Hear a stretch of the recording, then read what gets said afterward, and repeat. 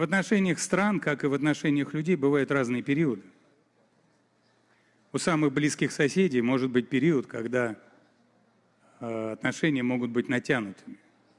Но здесь требуется политическая воля, с нашей стороны она есть, конструктивизм и дальновидность, политическая дальновидность лидеров друг стран. С нашей стороны она тоже есть. Поэтому я уверен, что все эти трудности, они пройдут. Сотрудничество между Россией и Арменией абсолютно взаимовыгодное. Вы знаете, что сейчас на пространстве бывшего Советского Союза Армения – страна, которая наиболее динамично развивается. У них свыше 15% рост ВВП за прошлый год. Свыше 15%. И это даже по мировым меркам можно сказать, что Армения лидирует.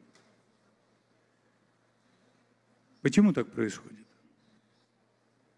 Я не могу сказать во многом или нет, но то, что отчасти это происходит из-за очень тесного взаимовыгодного сотрудничества с нашей страной и от членства Армении в ЕАЭС или в Евразес, как хотите называть, это однозначно.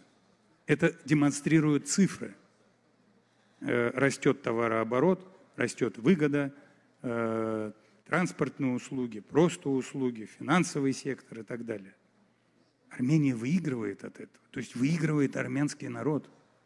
И я уверен, что э, это все будет учитывать армянское руководство при принятии своих решений по внешней политике. Это, конечно, суверенное решение. Я только что говорил о том, что мы против того, чтобы кому-то что-то диктовать. Мы за то, чтобы вместе зарабатывать и вместе становиться счастливее и богаче.